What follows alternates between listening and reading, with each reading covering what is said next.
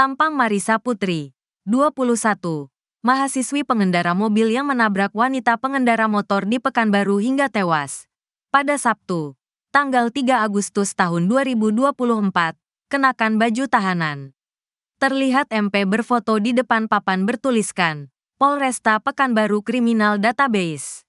Ia mengenakan baju tahanan warna oranye bertuliskan angka 73. MP kini harus mempertanggungjawabkan perbuatannya. MP ternyata baru pulang dugem dan berkendara dalam pengaruh narkoba, hingga menabrak korban yang sedang mengendarai sepeda motor. Sabtu, tanggal 3 Agustus tahun 2024, pagi.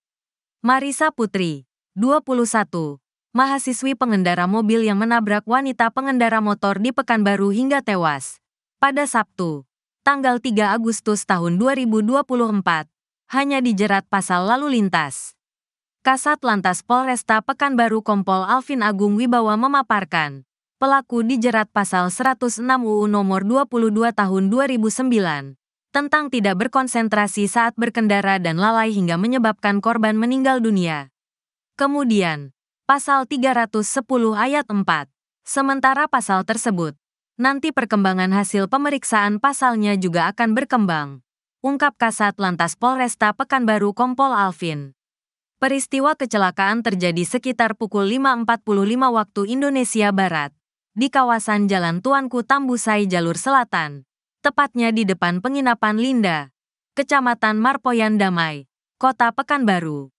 Tersangka berinisial MP asal Dusun Sungai Dongku Kebun Durian, Kabupaten Kampar menabrak wanita pengendara motor di Pekanbaru bernama Renti Marningsih, 46, meninggal dunia di lokasi. Kasat Lantas Polresta Pekanbaru Kompol Alvin Agung Wibawa menuturkan, tersangka baru pulang dari tempat hiburan malam. Dia baru pulang dari tempat hiburan malam, terang Alvin. Tersangka dipaparkan Alvin, menjalani tes urin untuk mengetahui apakah ada indikasi ada mengonsumsi narkoba ataupun minuman keras, miras. Hasil pemeriksaan urin, yang bersangkutan positif menggunakan zat, narkoba, amfetamin, namun sampai saat ini yang bersangkutan tidak mengakui. Ulas Alvin. Usai ditetapkan tersangka kata Alvin, pengendara mobil itu langsung ditahan. Sudah kita tetapkan tersangka. Sudah kita tahan, tegas Alvin.